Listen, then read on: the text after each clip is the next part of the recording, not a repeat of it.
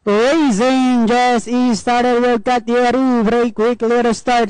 La Guardia is the outside, running by the release Bishop Blue. Next in line is Drummer Girl, while top is the early trailer by about 8 lengths up the leader. Back to the leader with Katieru, enjoying a length and a half lead. Right behind in second is La Guardia. Bishop Blue down on the inside, top Caesar in the version is drummer girl and going along for the first turn. We have Katieru enjoying a length and a half lead and in second LaGuardia top star moving up to take third. And in third comes drummer girl while Bishop Blue now racing in less of mile distance they we have Katieru enjoying a length and a half lead and in second remains LaGuardia. Down in third is top star next in line is drummer girl and a long way back to Bishop Blue, who's racing in less.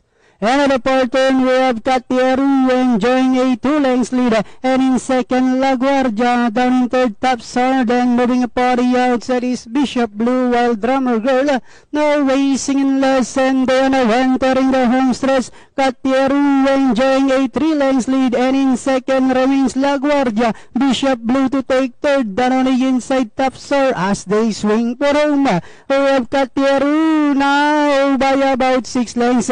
And in second remains La Guardia.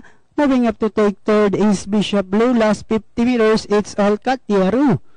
Second, La Guardia. Then comes Bishop Blue. Top star, Drummer Girl. Alright, banderang tapos, numero 5, Kacheru, ridden by Kelvin B. Awowo. Masisigundo ng aking 4, La Guardia, 3, Bishop Blue, then 1, Top Star. Galing. Narin natin, Rip